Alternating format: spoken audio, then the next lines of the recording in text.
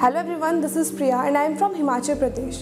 I have started my journey with the IIBS in year 2020. After the completion of my graduation, I was so confused that which MBA college I should take. Then I came across with IIBS. I checked this website and various testimonials and I decided to start my journey with IIBS. This journey was full of learning and fun. I met new people here and came across with the various cultures.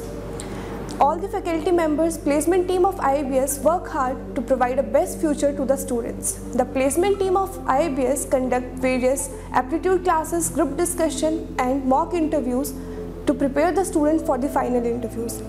I would like to take this opportunity to thank management and the placement team of IIBS as I got placed in the Property Pistol with a package of 7.8 lakh. I'm thankful and obliged to the management and placement team of IIBS for providing me a platform to enhance my skills and a stage to showcase them. Thank you.